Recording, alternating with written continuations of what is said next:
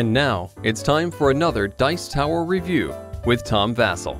Don't confuse Samarkand with the. There's an older game that was designed by Sid Sackson which involved trading, going around and getting goods and trading them. Well, the theme hasn't changed much here in this game, and in fact, the trading is still there. And, but there's it, it's different.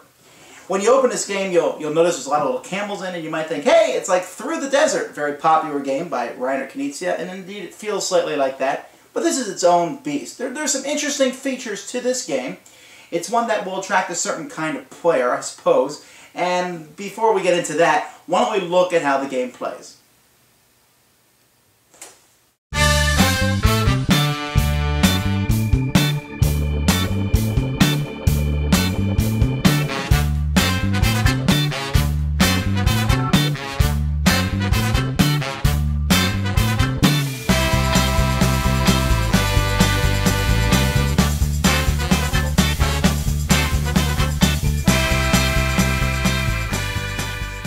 Here's a map of the board, albeit upside down. And over here are five of the families included in each game. And you can pretend that I went to the effort to set up the other five the same way. But I did five for you, dear watchers, so that should be good enough. Each family has a pile of camels here. Ooh, look at the little wooden camels. Very cute. And has two people that you can marry into that family. For example, the Huns. And, you know, there's whichever version you wish to marry, they're there for you. And then there's five handshakes, there's four white and one dark one. And that's on each of these families. Each family also has a different number. That's the cost of marrying into that family. And each family also has a starting location on the board. So you can see this is where black would start. Players get a couple cards to start the game with. These cards match some of these resources on the board. Each resource has a token that's placed on top of that, and again, you'll have to pretend that I did that for this game. And players get some money to start the game. Fabulous. On a player's turn, they have one of two things that they can do. They can marry into one of these families. So let's say, for example, I want to marry into the Hun family. I would therefore pay the Huns three, because that's what the costs are. I put that money in a Hun's treasury. I marry the beautiful Hun woman, place her in front of me. I'm now married into the black family. Fantastic or I could marry into one of the other color families. For example, I could pay later on and marry into the orange family. The and those are the families that I'm part of by paying money. That that also gives me the opportunity to draw more of these cards from the deck. There is an upper limit depending on how many players you have in the game, but you want to get those cards in your hand because they're worth points. Instead of marrying into a family, my other option is to place a camel on the board. The first one has to be placed on the starting spot after that, they simply go to an adjacent spot. Now you can place one or you can place two, but placing two costs $1 from the treasury. And since there's only two people to be married, and they have to be married by two different folks in the game, then the, the most, for example, that the Huns are going to have is they're only going to have six uh, coins in their treasury. But if you pay one of the coins from the treasury, you can build two camels. Camels can go anywhere you want as long as they're adjacent to camels of the same color. They can even go into the water spots. If a camel goes into a spot where there is one of these tokens, you may take that token and place it in front of you. At the end of the game, voila, it's worth a victory point. And if someone else happens to have a card, let's say I move a camel into this space with the shell, if anybody has a card for the shell, they say, ha ha. Oh, no, that's kind of anticlimactic. Aha, there's the shell card. I have that. You can immediately sell that card for $3 that's certainly worth doing. It's another way to get money, and so that you can use that to buy more families in the game. Uh, or you can hold on to it for the end of the game and keep it secret and keep it safe.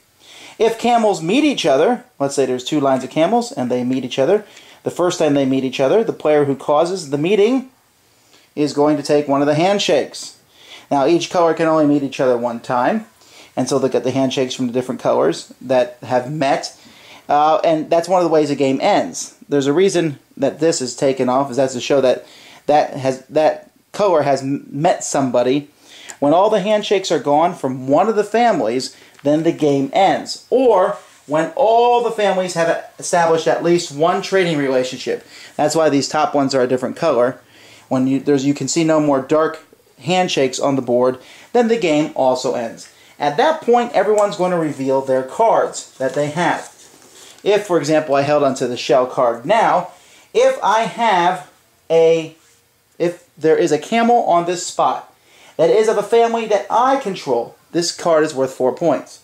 If there's a card from another family on it, then that's worth one point. So the most you can have for any single card, I could have a card with both of my families on it, that would be eight points. That gets me points. Everything else gets you points according to this really handy dandy scorecard.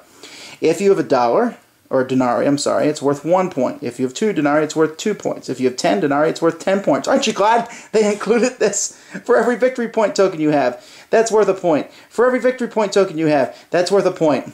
I suppose I'm always asking for player aids, but this may be pushing it a little too far. If you need this player aid, then I'm not sure you should be playing this game anyway. So that's basically how the game is played in a nutshell. There's definitely shadows and maybe more than shadows, but there's definitely strategy in the game in which you know, how many families do you marry into? How quickly do you do so? Where do you move the camels? When do you reveal the card? Do you reveal the card to get that more money to use during the course of the game? Or do you, you know, hang on to the cards and keep them for points at the end of the game? So there's that kind of back and forth leeway. Uh, the map is interesting. This, the, the, the traders in the middle cost more money because they have the opportunity to meet more families. And so there's some interesting facts there. Uh, it feels a bit like through the desert as you place the camels, but since that's the only thing that's identical, other you know placing camels, I wouldn't consider them different. I mean, or similar. The game doesn't really feel like any other game that I've played. I mean, it has different bits and mechanics from different games. And there's a lot of joking about marrying in all these families. Ah, you know, my son married their son, or I married four wives, or, you know, there's ha ha ha, all those jokes. And the game really isn't that fast. If you want it to go quicker, you can run out a pile of handshakes if you want. You can really just go out of your way to make sure the game ends. So it's a fairly quick game. I found it a bit bland for me, although other people I play with thought it was an interesting game. It's certainly a game for uh, those that I would say are in the Euro game department. It has a theme. The theme works. It's trading, not one of my favorite themes, but certainly one that I'm not upset with. I do like the different families. I like how you're not a family, but you can have a controlling factor in a family. Um, it almost, train gamers don't kill me here, but it almost feels like a very, very, very, very light version of one of the, the, the train games where you're buying shares of different companies and then controlling that company to some degree. Uh, but I guess the best way to say is if you thought it sounded interesting from me showing you how it worked, well then you'll probably like it. Otherwise, this might be one you want to pass on. It's kind of an iffy thing. Me, not my style. Thanks for joining us today. For more written, audio, and video reviews, as well as the number one board game podcast, check out the website at www.thedicetower.com. Until then, this is Eric Summerer, and you've been watching The Dice Tower.